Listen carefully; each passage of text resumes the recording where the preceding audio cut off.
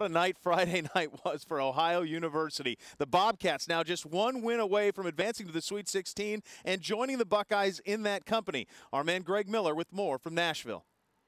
Ohio Bobcat fans might still be basking in the glow of last night's win, but the team has moved on from that victory. Head coach John Groce applying his 24-hour rule and actually taking it to another level. Coach handled it by taking our phones last night for the first time in uh, for the first time in a while. So, uh, you know, first time ever, really. I knew from my experience two years ago how much their phones were going to be buzzing, buzzing, and you know, Twitter and Facebook and MySpace and emails and all that stuff, and that's great but they can get back to those after we, you know, after we finish playing. Bobcats will play again on Sunday here in Nashville. 7-10 tip-off for that game with South Florida. Coming up later on Wall to Wall Sports, we'll break down the Bobcats and the Bulls and tell you why this will be a complete 180 from that Michigan game for Ohio. With the Bobcats in Nashville, Greg Miller, 10 TV Sports. You know, all that stands between Ohio. I thought all that stands between us and the pizza, but well, uh, three hours stands yeah. between us and the pizza. Right. All that stands between us, uh, the Ohio Bobcats, and the Sweet 16 is South Florida. That ain't bad. No, and uh, they have been on a roll, no question about it. Matter of fact, the uh, Bobcats playing in their second round game tomorrow over in Nashville. Our Greg Miller's with the team and has us covered. It will be the 13 seed Ohio and the 12 seed South Florida for a trip to the Sweet 16 on Sunday here in Nashville. Now, the double digit matchup in the third round should not really be that stunning. It's the sixth time that's happened since 2008. Ohio back on the practice floor today, game planning for a South Florida team that John Groce says is a 180 of Michigan. USF, a big physical team that loves to grind you down on defense. In Friday's win over Temple, the Bulls held their 12th straight opponent to less than 60 points. We've got to find a way to, you know, survive and advance and play and adapt and whatever's needed tomorrow, we need to be willing to do that on a possession by possession basis to give us the best chance to win. While defense is the Bulls' calling card, it is also Ohio's. The Bobcats are top five in the nation in steals and turnover margin. USF has been sloppy at times with the ball, averaging over 13 turnovers a game. So Ohio is hoping they can create turnovers and push the tempo on USF that's kind of our bread and butter. You know, we got guys that, that are really tough, uh, really uh, hard nosed, uh, and you know that that's part of the reason why our, defense has has been uh, as good as it has been. Many will label Ohio as a Cinderella in this game with their MAC background, but just because USF is a Big East team, don't be fooled. The Bulls have won only two NCAA tournament games in their history. Both happened this week. With that being said, the Bobcats are well aware of what's at stake that's what we're trying to set the you know set the standard here at Ohio. You know, we, we want to be you know known to win. So you know we want to be expected to win a ball game. So it, it's not like a you know a pressure on us or anything like that. We're just gonna come out and play and uh, you know hopefully we're the best team tomorrow night. A couple of things to keep your eye on. USF will be playing their third game in just six days, so fatigue could play a role in Sunday's game. Also, Bobcat fans should recognize Bulls head coach Stan Heath, the same Stan Heath who led Kent State to the MAC title and the Elite Eight back in 2002. Bobcats trying to become the first MAC team to make the Sweet 16 since that Golden Flash team did it 10 years ago. Tip time set for 7:10 here in Nashville with the Bobcats. Greg Miller, 10 TV Sports. Hello, I'm Dom Tiberi in the grill getting ready for wall-to-wall -wall sports. Right now, let's talk some sports. The Bobcats of Ohio University are heading to St. Louis in the Sweet 16 of the NCAA tournament. To Nashville we go, and OU taking on the Bulls of South Florida. And what a game this one turned out to be. Second half, Bobcats down two. They catch fire. Walter Offutt hits the three-pointer to give the Cats the one-point lead. Then it's Nick Kellogg with the three. And Ohio led by four, and they're going to keep it going. Walter Offutt, the drive, and the lead was eight, all part of a 10-0 run. Offutt led all scorers with 21 points late in the game. Cats up by five. DJ Cooper beats the shot clock he finished with 19 points as Ohio University goes on to win 62-56. Off to the Sweet 16 for the first time since 1964. Our Greg Miller was at tonight's game, joins us from Nashville with more on those Bobcats. At the half, the Ohio Bobcats found themselves against all odds, down six points to a team that prided themselves on defense and had been 17 and 1 when leading at the half. But the Bobcats flipped the script in the second half, took things over, and became the first team to score over 60 points against USF in 12 games. In the end, it led Ohio to a 62-56 win and their first trip to the Sweet 16 in the modern era. I think our guys think pretty highly of themselves defensively and want to show, you know, the country that we can guard as well. I give credit to Coach Groce and coach staff and my teammates out here for a great effort, and we're really coming together before our eyes as a, as a not a good team, but a great team. Coach Groce, you know, he, he always tell me never settle. Uh, you know, sometimes I settle too much but I just tried to attack, you know, find my teammates and uh, make plays. Cooper and Offutt made a lot of plays, combining for 40 of the Cats' 62 points, but a lot of other players made huge impacts, including a couple kids from Columbus. More on their nights coming up on Wall to Wall Sports. Until then, in Nashville with the Bobcats, Greg Miller, 10 TV Sports. And welcome back to Wall to Wall Sports. Ohio University heading to the Sweet 16, and we can now give you the lowdown. They will play North Carolina on Friday in St. Louis. Tip-off is set for 747. The Bobcats beating South Florida tonight to earn the right into the Sweet 16. Our Greg Miller was there and has us covered. Well, one of Walter Offutt's last games in an Ohio State Buckeye uniform came against North Carolina in 2009. Thanks to his efforts tonight, Offutt will get another shot at the Tar Heels in the Sweet 16. Offutt scored 21 big points, 13 in the second half in Ohio's 62-56 win over South Florida. I thought the biggest thing that happened to start the second half is Offutt banged some shots. He made some shots, and it kind of gave our guys some confidence, the other players. For most good players, if you hit your first shot, that means you're pretty much going to have a, a, good, a good night, and that's what happened. Unfortunate to hit some open shots to help my team. DJ Cooper was equally tough, hitting for 19 points, including this one with the shot clock winding down late to put Ohio up 58-51. So I just tried to attack, you know, uh, I just I stepped up and you know knocked, knocked it down. Every game he hits a crazy shot or does something crazy that makes you just say, "Dang, how, how do you do that?" But he does it in big time games all the time. Also not surprising was the contributions of Columbus native Stevie Taylor and Nick Kellogg. Taylor had a big momentum swinging steal and layup in the second half, while Kellogg scored nine big second half points, including two crucial three pointers. We obviously wouldn't be in this situation without him. He made some big shots there uh, in the second half that I thought really springboarded us to a two or three possession lead and allowed us to close it out. While the offense became the first team since early February to score over 60 points against USF, it was the Bobcat defense that sealed the deal, holding the Bulls to only two field goals over the final seven plus minutes. Last two games are, you know, prime examples of why why we hang our hat on defense. Um, because, you know, sometimes shots aren't falling. Um, if we're not rebounding and particularly well, you know, we can always go back to, you know, getting stops. And the Bobcats got plenty of them. An amazing defensive effort in the second half. Next up now, a trip to the Sweet 16 in St. Louis to face the number one seed North Carolina. It's the first time the Heels and Bobcats have met since 2002 when Ohio won down at the Dean Dome. The rematch is Friday. It should be a lot of fun. We will be there in St. Louis. That's going to wrap up our coverage here in the Music City. We'll see you in St. Louis with the Bobcats. Greg Miller, 10 TV Sports. We are also in St. Louis and Columbus. In St. Louis, our man Greg Miller with Ohio. Hey, Bo, welcome here to downtown St. Louis, Edward Jones Dome, where this weekend they will play host to the Midwest Regionals. Ohio Bobcats here. They arrived in town today just a little after lunchtime. Headed over to St. Louis University for about a two hour workout. Really, the fireworks will get underway tomorrow here in St. Louis. Media availability, press conferences, and practices. Bobcats will be the first team to hit the floor here at the Dome around noon local time. Really, Ohio, the new kids on the block here this weekend. Kansas, NC State, and of course, North Carolina all here as well all three schools with at least one national title to their credit. The Bobcats, of course, making just their first ever trip to a Sweet 16. Coming up a little bit later in the show, we'll take you to that Ohio workout over at SLU, and we'll also hear from the Tar Heels and get their thoughts on the Bobcats as we get set for Friday's showdown. But that's going to do it for now here in St. Louis. We'll kick it back to Columbus and David Wilkinson. Thanks. You know, tomorrow night the Buckeyes, well, they hope to do what everyone's expecting them to do by advancing to the Elite Eight. Now, the same cannot be said for John Groce's Ohio team taking on top seeded North Carolina down in St. Louis, and that's where we find our Greg Miller covering Ohio in St. Louis. Greg, take it away.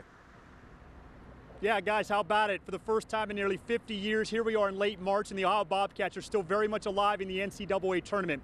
1964, the last time Ohio played in the regional round. And back then, it wasn't even called the Sweet 16. But that was that has been what this year has been all about for Ohio, rewriting the record books. 29 wins, That is the most in program history.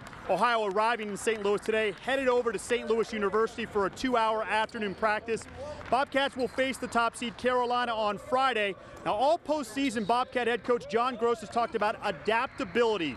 And that's what Ohio will need to do Friday. UNC, one of the biggest front lines in the country. Ohio was outsized in that win over South Florida, but Carolina is a completely different story. They're so big and they're athletic. I think a big key is we got to do a great job blocking out. We got to get to them, get to them first, and not let them get us pinned where they get advantages uh, on, on glass situations. You know, they already are probably going to win most of the jumping contest and the size contest. So we've got to be really disciplined with our blocking out. Now, while UNC might have the advantage in the post, Ohio might have it at the guard spot. UNC point guard Kendall Marshall questionable to play Friday after wrist surgery on Monday, and that gives Ohio at the, the edge with the way of DJ Cooper and Walter Offutt. They've been playing lights out. 40 of the 62 points in Ohio's win over USF, not to mention their ability on defense, and that is what UNC has noticed the most. I think from here on out, I think you run into a lot of teams that uh, are great defensively. I know um, Ohio's they love their guards are very good at getting out pressuring, and uh, so it's something I, I, expect to see that. Um, I mean, whether it's full court or half court, I think we're going to see a lot of pressure trying to get us out of our offense and uh, trying to attack that position. Bobcats and Tar Heels met 10 years ago in Chapel Hill. Ohio won that game. If they can make it two in a row against Carolina, this magical run will continue. Tip time Friday at 7:45 here in St. Louis. That's going to wrap up our coverage for now. Guys, we'll send it back to you in Boston. Well, the state of Ohio, as noted, has the most teams ever in a Sweet 16. One of them tried on the glass slipper, and it fits. Here's Greg Miller with this year's Cinderella, Ohio U. St. Louis, the site of Friday's Sweet 16 matchup between the Ohio Bobcats and the number one seed North Carolina. Cats getting a workout in on campus over at St. Louis University before moving to a dome setting on Thursday. It will be the team's first game in a dome. Head coach John Groce with a familiar thought when it comes to playing in a dome. The goal is still 10 feet. Free throw line's 15. Court's still the same size, and you got to kind of like the old Gene Hackman Hoosiers deal. And uh, tape measure out there. tape measure out you still got to play.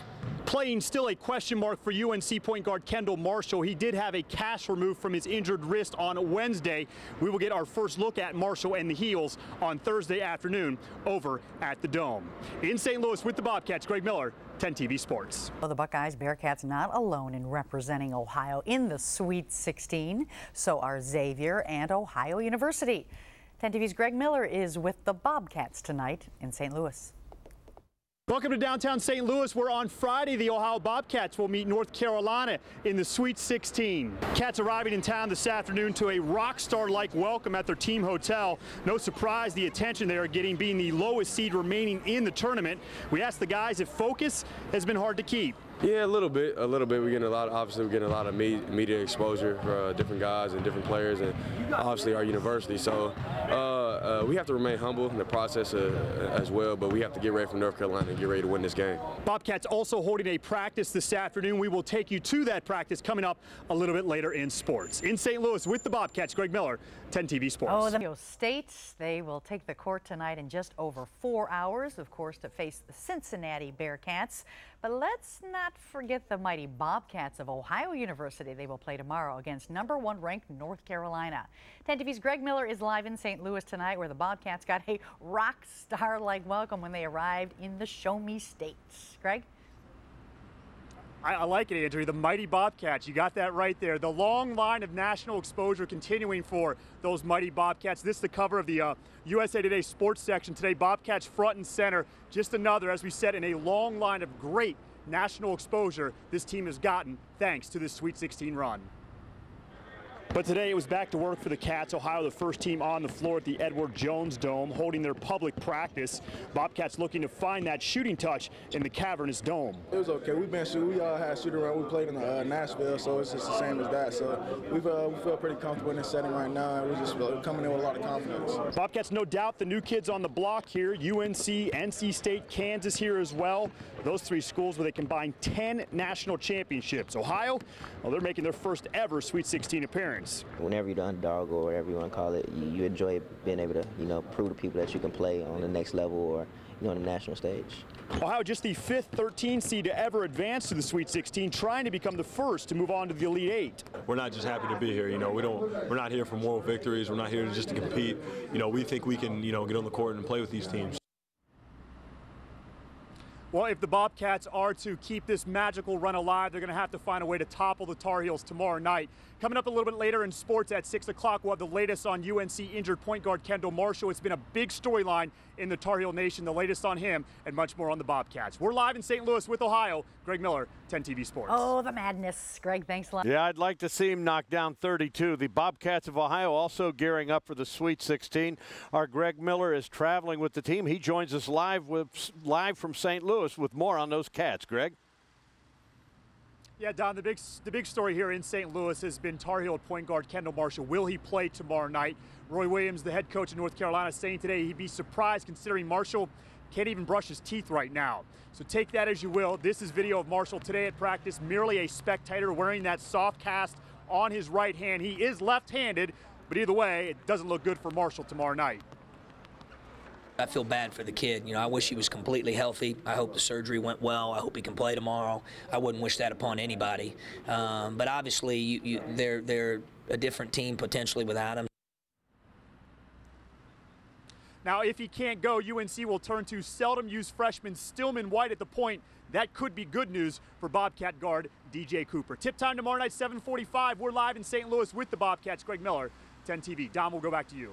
And guess what? With the Ohio University Bobcats as well. Gotta love them this morning. Well, it could be an uphill battle, though, for the green and white. They are facing the top seed North Carolina Tar Heels, and this takes place tonight.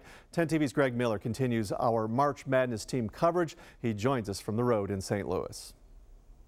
Well, call them a Cinderella, call it David versus Goliath, call it what you want, but the bottom line is the Ohio Bobcats are just two wins away from a Final Four. Tonight they go for the first of those two wins against North Carolina. The Tar Heels are the number one seed and are one of college basketball's blue bloods, but that doesn't intimidate the Bobcats. Obviously, you know, the smaller team coming from the MAC and, and not not being here that often, but I think I think we're we're a good team and we've shown that all year. Bobcats will need to show even more on Friday night to topple the Tar Heels. UNC possessing one of the biggest and best front lines in all of college basketball. Obviously, they're going to have a size advantage, but we're going to open the floor up and spread the floor, and, and uh, you know, hopefully we can create some mismatches ourselves. One mismatch the Bobcats do have in their favor is at point guard. Look for DJ Cooper to exploit the freshman Stillman White, who is filling in for injured Tar Heel starter Kendall Marshall. Cooper's been fantastic in this tournament. He and his teammates will need to be if they're going to beat North Carolina tonight. Tip time set for 745 here in St. Louis with the Bobcats. Greg Miller, 10 TV Sports. Jerry, first, the Buckeyes, they've made it to the Elite Eight in March Madness. Now it is Ohio University's turn, but it's not going to be easy. 10 TV Sports anchor Greg Miller is live in St. Louis for us right now. And Greg, quite the matchup against North Carolina tonight. Yeah, it's game day here in St. Louis for the Bobcat Nation. Cats and Tar Heels tipping off in less than three hours at the Edward Jones Dome here behind me. It's been quite a run John Groce has led his team on, not just these last few weeks, but quite honestly, these last few years. 29 wins this season, three NCAA tournament wins and counting now. John Groce is becoming quite a popular man, not just with Bobcat Nation, but with colleges looking for new head coaches. His name has already been linked to job openings at Nebraska and at Illinois. And that's just honestly the nature of the beast when it comes to being a coach at a mid-major level. And that's something that Ohio AD Jim Schaus understands certainly can't control about things that are out of our control um, and understand that successful coaches are going to have interest. Uh, but again, our focus right now is the game on Friday, and our focus is, is having John Groce as our coach for many years to come and, and to continue to build our program. Well, Groce contends he has no interest in leaving Ohio at this time, and that sits just fine with Bobcat Nation. He maintains his focus is on North Carolina tonight, and that's where our focus will be a little bit later. We'll rejoin you at 6 o'clock to break down tonight's matchup tip-off for the Bobcats and Tar Heels set for just after 745 here in St. Louis. We're live with the Bobcats. Greg Miller, 10 TV Sports. All right, Greg, thanks. Under two hours now until the Ohio Bobcats hope to keep the magic alive in the NCAA tournament. 10 TV Sports reporter Greg Miller is live in St. Louis where the team is preparing to play and countdown is on, Greg. Yeah, that's right. We are just a matter of hours away and The big question is how long will that magic carpet ride last? Bobcats and Heels going here at the Edward Jones Dome for a trip to the Elite Eight. And what a ride it's been for the Cats, but it's no question they are the decisive underdogs tonight. But you know what? So was George Mason a few years back. So was Butler the last two years, and so was VCU last year. Maybe this is the year that the magic wand touches down on Ohio. Bobcats know they're facing an uphill battle tonight, but it's one they're excited I don't about think it's too intimidating. You know, um, obviously, you know we're, we've got a lot of confidence right now. Uh, you know, and we believe we can play with anybody on the court. And I think we've proved that these last couple weeks. Uh, you know, throughout the MAC tournament uh, and throughout the first round of the NCAA. Whenever you're the underdog or whatever you want to call it, you, you enjoy being able to, you know, prove to people that you can play on the next level or, you know, on the national stage. Well, the stage gets no bigger than tonight. Just how do the Bobcats beat the Tar Heels? We'll try to figure that out coming up later in sports. John Groce gives us his biggest key to victory. All that a little bit later. We're live in St. Louis with the Cats. Greg Miller, 10 TV Sports. Thanks, Greg. Buckeyes in the Elite Eight. The Bobcats of Ohio trying to join them. We go to St. Louis now for Greg Miller and more on their journey. Yeah, Bo, no question the odds are certainly stacked against the Bobcats. No 13 seed has ever made the Elite Eight. North Carolina, well, they've won their last 10 straight games in the Sweet 16. Then there's the on the court disparity between the two. Carolina, the much bigger team. On offense, Ohio plans on trying to spread the court and keep their big men outside the paint. That sure becomes harder when Ohio is on defense. The Heels make a living on the offensive glass, something John Groce is well aware of. If you can guard them and, and do a great job defending them, and then the shot goes up and they're playing shoot and fetch all night, you know, we're in trouble. You can't defend layups off of offensive rebounds. So we've got to do a great job of getting to them, blocking out. I think that'll be the key statistic in the game. Well, North Carolina is number one in the country in rebound margin, so don't expect Ohio to win that battle tonight, but if they can stay competitive, they could pull the upset here in St. Louis. A complete wrap up tonight at Wall Extra. Tip off time 7:45. We're live in St. Louis with the Bobcats. Greg Miller. Bo, we'll send it back to you. Of course, the Bobcats trying to get to the Elite Eight as well. Are Greg Miller traveling with them in St. Louis. Let's go to him now. Well, Bo, certainly a stomach punch night here in St. Louis. Bobcats take top seed North Carolina all the way down to overtime before falling in OT. Ohio had their chances. There's no question about it. Let's show you how this one finished off here at the Edward Jones Dome. Walter Offutt was fantastic all night. Here, the hoop and foul with Ohio down two in the final minute.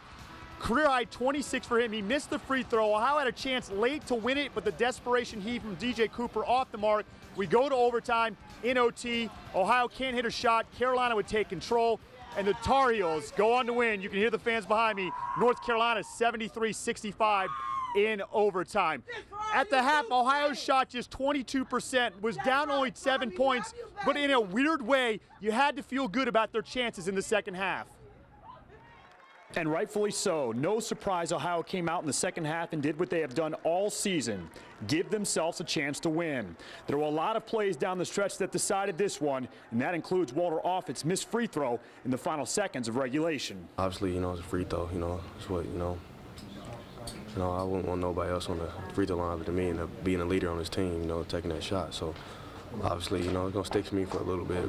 Offutt was tremendous all night. His 26 points were a big reason while the Bobcats had a chance. He made big plays, and he was the reason we were in the situation we were in late to have a chance to win it. And you know, we just, uh, like I said, just didn't make make enough of them there at the end. I feel like if we would have just executed just one more play, um, I feel like we would have won that game. But um, we didn't, so we can't we can't play the what if game. No what ifs when it comes to the Bobcats' character, which makes it all that much harder that this run has come to an end. Well, I just told them there's nothing I'm going to say to them that's going to stop, you know, uh, their, their, disappointment at this point in time because they're competitive guys, uh, they're proud guys. Well, if there is a silver lining to this loss tonight, it is the fact there are no seniors on this team. They're all back next year, so expectations will be sky high next year in Athens. In St. Louis with the Bobcats, Greg Miller, 10 TV Sports. Thanks so much, Greg. Certainly going to be fun to watch them next year. And happy birthday to you as well, my friend. Turning to sports news this morning, a tough loss last night for the Ohio University Bobcats in St. Louis. I didn't want to get out of bed this morning. I know it. How tired are you this morning? Uh. Late game. After making it all the way to the Sweet 16, the Bobcats fell to UNC in overtime. 10 TV sports reporter Greg Miller has reaction this morning from St. Louis. Well, the question all week here in St. Louis was, could the Ohio Bobcats battle with the big boys from the ACC? Well, it looks like Ohio did that and then some on Friday night here in St. Louis. Ohio going toe-to-toe with North Carolina, nearly pulling off the upset of the number one seed. Ohio trying to become the first 13 seed to ever advance on to the Elite Eight. Didn't start well for the Bobcats. Reggie Bullock knocks down the three. Ohio down 16 midway through the first half, but the Cats would rally. Despite shooting just 22% in the first half, the Bobcats trimmed the lead all the way down to just seven before the break. Nick Kellogg, one of his three first half threes, 29-22 UNC at the half. Second half, Bobcats fell down, back again by 10 points. That's when they would make the run. Back-to-back -back threes from Walter Offutt and another from TJ Hall cut the lead down to just one. Ohio had a lot of chances to take the lead, and finally, with just over eight minutes left, Kellogg, another triple, puts Ohio up 47-46. Ohio got up as many as four, but Harrison Barnes comes up with a four-point possession with three minutes left to tie the game back up at 57. Down two in the final 30 seconds, Ohio looked like they would finish off Carolina. Offutt, caps off a 26-point night with the layup and the foul to tie it, but Offutt unable to finish off the three-point play, and we were headed for overtime.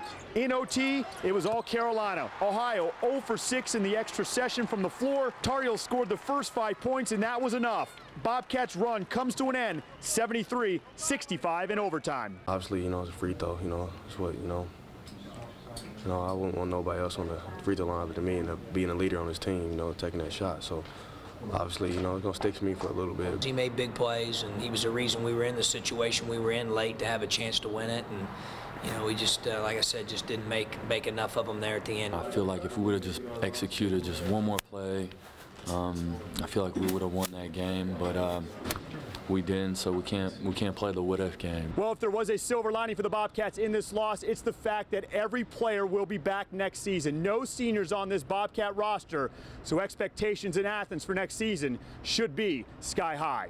With the Bobcats in St. Louis, Greg Miller, 10 TV Sports.